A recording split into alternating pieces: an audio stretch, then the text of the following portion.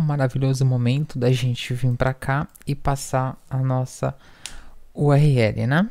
Então, esse é um momento um pouco complicadíssimo.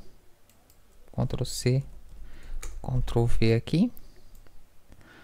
Ok, não é isso que a gente quer. Nesse nosso caso, a gente está aqui no local. Então, esse daqui é o nosso diretório, né? Bom, a gente pode trabalhar de duas formas. Uma com URL, URLs amigáveis. E a segunda forma é pegando a URI. Então, deixa o Ctrl R, a gente pega esse cara aqui. Na verdade, aqui não é HTTP localhost, mas agora é. Ok, ele deu duas voltas ali porque não precisa disso. Ctrl S. Vamos aqui de novo, pegar essa URL. Tá, apaguei isso daqui. Enviando. Maravilha, ó.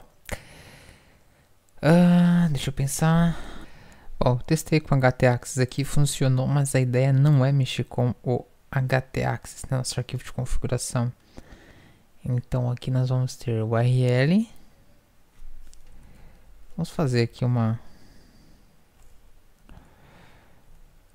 Vou chamar de U, recebe. Ok. Nosso novo cara.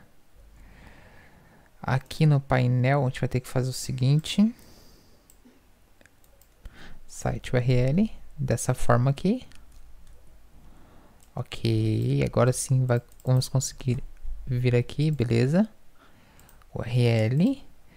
Uh, no nosso arquivo index.php a gente vai ter aqui um...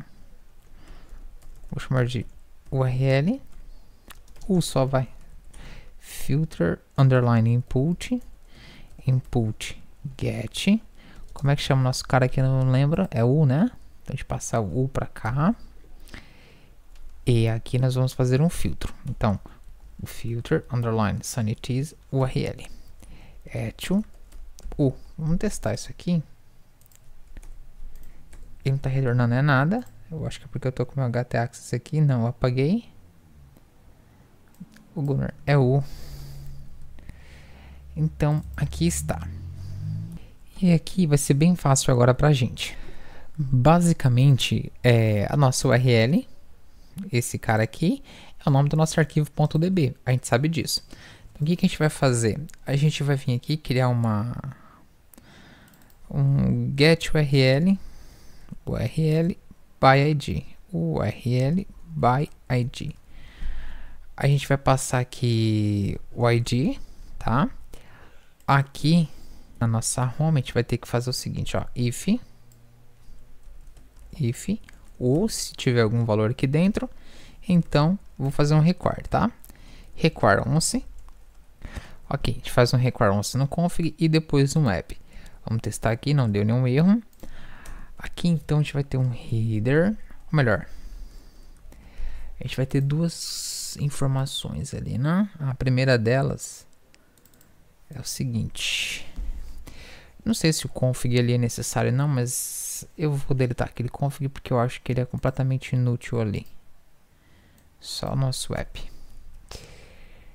Uh, então o que a gente vai ter que fazer aqui, galera? Ó, bem simples, entre aspas, né? Então vou chamar de f, file, vai receber pf, nossa constante que tem nosso caminho, ponto, uh, barra, te dar um etch aqui em f, a gente vai passar o nosso id para cá, ponto .db, tá? Primeiro, se file underline exists, a gente passa o nosso F para cá. Bom, então aqui a gente vê, tem o nosso, o nosso diretório, né, o pf, mais o id aqui tudo certinho, ponto .db, nossa string.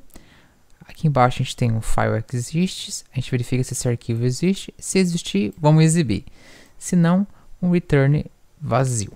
Então, bem simples, né? A nossa lógica. Se existir, vamos dar um edit, depois a gente vai fazer outras coisas aqui. Se não existir, retorna vazio. aqui na nossa home, o que, a gente vai fazer? If, ou melhor, a gente vai ter aqui o, vou chamar de R de result, que vai ter uma nova instância de app, e ele vai chamar para gente o método getURL by ID, tá? E o nosso ID está aqui na variável U, ok? O uh, que a gente pode fazer aqui agora? If R for igual a vazio, então etio URL, ou melhor, invalid URL. Eu acho que é isso. Tá, ele deu um erro aqui na linha 6. Gente tem que fechar esse cara aqui primeiro, não? E deleta um parênteses aqui, ficou sobrando. A app na linha 6 deu erro. Tá. App na linha 6, uso indefinido. Ah, tá. É porque aqui a gente precisa do nosso config, né? Então, config.php. Ok. Uh, invalid URL, não sei porquê, mas... Bom, se bem que aqui o nosso result, aqui embaixo, ele não devolve nada, né? Ele só tem um echo aqui. E vamos retornar aqui, ok. Vamos ver se vai dar boa, né? Ok. Se a gente passar qualquer outro nome aqui, ó, lá invalid URL. Vamos voltar uma aqui. Tá, e por que deu esse erro? Porque a gente tem um at e não devolve nada. Então, por padrão, ele estava devolvendo nulo. Nulo e zero. Ali, para nesse nosso caso, é a mesma coisa, tá? Então, se a gente colocar uma URL definida, ele vai fazer isso daqui pra gente. Beleza. Então, aqui o nosso arquivo existe. Isso quer dizer que a gente vai decriptografar esse cara. E para isso, a gente vai fazer uma lógica bem bacaninha aqui, ó. Bem parecido com o que a gente já fez antes aqui em cima, ó. Então a gente vai ter aqui o file get contents. É isso mesmo, a gente vai ter aqui o file get contents, object data, vou chamar de f. Então aqui vou chamar de uh, short. Então short set access vai receber o que já tem lá dentro, então short get access plus plus. Eu acho que isso funciona. Vamos testar. Deu erro na linha 54. Primeiro a gente tem que colocar um return ok aqui, né? Na linha 54. Set access mais um. É, plus plus aqui não funcionou, tudo bem. Ah, o uh, que, que a gente faz agora? Eu só preciso ver se esse W aqui, galera, se ele... Vou ter que copiar isso aqui de novo, não tem como, né? Isso aqui a gente vai ter que copiar para gravar lá. Só que eu não sei se aquele W, se ele apaga o conteúdo e escreve de novo, porque a gente precisa disso, tá? Vamos comentar aqui, read file. E aqui a gente vai ter o nosso write file. Aqui short get URL, né? A gente tem que devolver a URL que a gente encontrou ali dentro.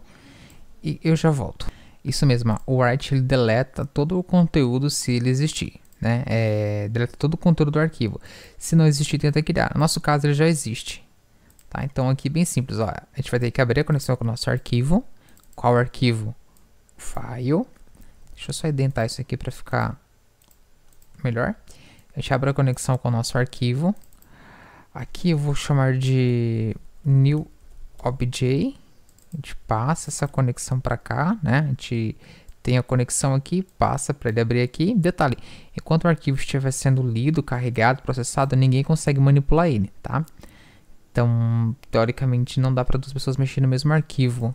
Isso vai de encontro, vai é, é, em contramão, contrapartida com o que eu falei lá atrás, né? A gente tem um arquivo com vários, um único arquivo com vários, várias instruções, mas tudo bem. E aqui a gente fecha o nosso arquivo e devolve a nossa URL. Então, tudo certo, tudo ok. Uh, aqui no index a gente vai ter que fazer o seguinte. else header, então header, cabeçalho, aqui location, dois pontos, e vamos concatenar aqui fora mesmo com R, né? E eu acho que vai funcionar. O que, que vocês acham? Pam, arquivos na linha 12. Falta um ponto e vírgula, Gunnar. Aham, funcionou. Ok, vamos copiar esse outro cara aqui, Ctrl C, Ctrl V aqui, mandou para cá de novo. E agora tem que ter aqui os nossos acessos. Uhul, deu erro aqui, ó. É, deu um erro em panel na linha 64. Então vamos lá em panel na linha 64. 64, 64. Get ID. Ok, barra N. Ah, tá, ele colocou N ali por algum motivo. Tá, vamos deletar esses caras aqui. E na próxima aula a gente resolve isso.